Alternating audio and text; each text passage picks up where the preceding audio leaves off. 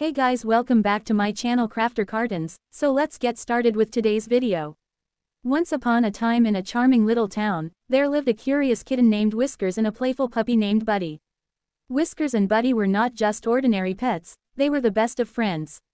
Their owners, Emily and Alex, were inseparable just like their furry companions. One sunny day, Emily and Alex decided to take Whiskers and Buddy on a magical picnic in the nearby meadow. As they laid out their colorful blanket, the pets exchanged excited glances, ready for a day full of adventure. As the humans enjoyed their delicious sandwiches, Whiskers and Buddy explored the meadow together. They chased butterflies, played tag, and even took turns climbing a gentle hill. Laughter filled the air, and the bond between the pets and their owners grew stronger with every shared moment. Suddenly, a mischievous squirrel appeared, darting between the trees and causing a stir. Whiskers, enticed by the lively creature, dashed after it, followed closely by Buddy. The chase led them deeper into the meadow, and soon they found themselves in front of a mysterious, ancient tree.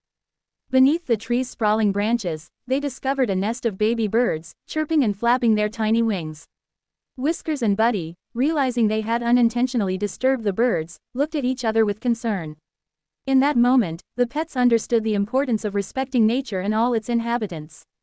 With gentle nudges from Whiskers and Buddy, Emily and Alex approached, offering a heartfelt apology to the baby birds. They decided to leave the area undisturbed, finding a new spot to continue their picnic. The day unfolded with shared joy, laughter, and a newfound appreciation for the harmony between pets, humans, and nature. Whiskers and Buddy had not only strengthened their friendship but also taught everyone the importance of empathy, kindness, and understanding. As the sun began to set, casting a warm glow over the meadow, the group headed back home. Whiskers and Buddy, tired but content, snuggled up with Emily and Alex, grateful for the special bond they shared. And so, in that little town, the tale of Whiskers, Buddy, and the magical meadow became a cherished story, reminding everyone that love, friendship, and respect make the world a better place. So that's it for today, hope you have liked the video, make sure to subscribe the channel.